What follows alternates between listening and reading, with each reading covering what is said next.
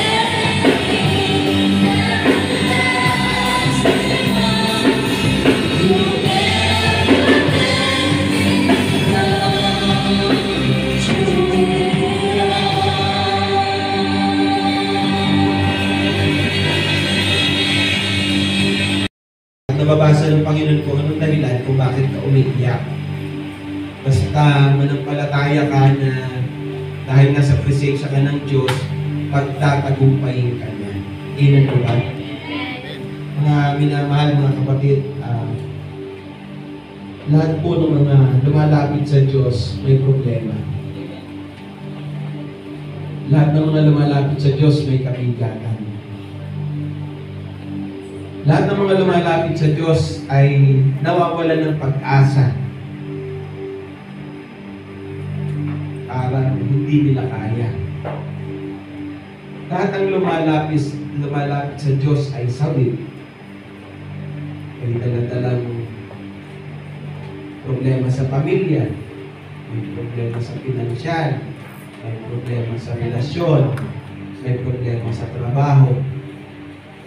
Kung hindi siya ang lalapitan mo, sino ang lalapitan mo? Ang sabi ng Panginoon, lumapit kayo sa akin, kayong mga nabibigatan ng lupa, at bibigyan ko kayo ng kapahingahan. Pero kahit yun ang sabi ng Panginoon, kakunti pa rin ang mga tao na lumalapit sa Kanya. Ayaw kasi ng kaaway na makita mo ang kapangyarihan ng Diyos.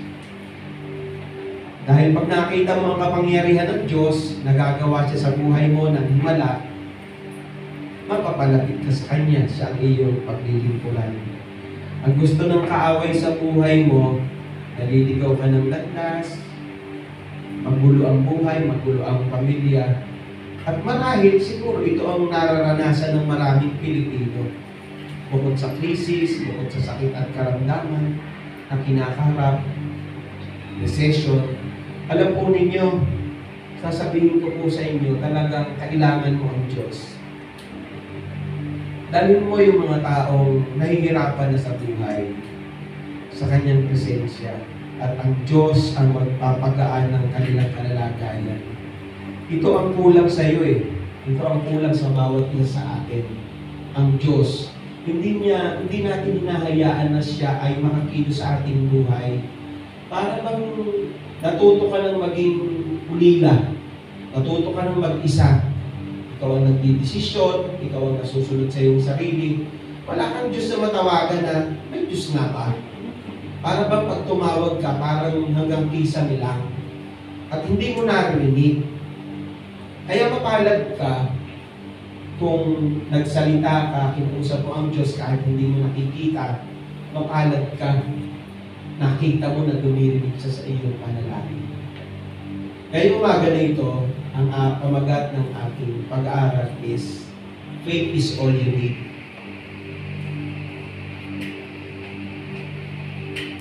Ang kailangan lang talaga sa buhay mo ay pananampalataya. Sa Biblia, may labing dalawang taong dinudugo, mabaho, may taning ang buhay, hindi na alam ang gagawin, naubos ang lahat ng kanyang kayamanan. Nilapitan ang lahat ng mga pupwedeng gumamot sa kanya, pero siya'y nabigo. Pero nung isang araw na ang Panginoong Yesus ay dadaan sa kanyang harapan, ang sabi niya, mahipo ko lang ang laylayan ng kanyang damit, ako ay gagaling. And that is faith. Sa Biblia, merong taon na hindi nakakakita simula nang ipinanganak at nung hinawakan ng Panginoon ang kanyang mga mata, siya'y nakakita. Sa Biblia, merong tinaga ang kanyang tenga at nung hinawakan ng Panginoon, yung putol na tenga na ipinilagay sa kanyang tenga at ikinabit ito, isang himala at kasama ang pananampalataya. Sa Biblia, may lumpo, gumaling. Sa Biblia, may sakit, gumaling. Sa Biblia, sampu ang lumapit na nagkaketong, gumaling, pero isa lang ang gumaling para magpasalamat sa Kanya.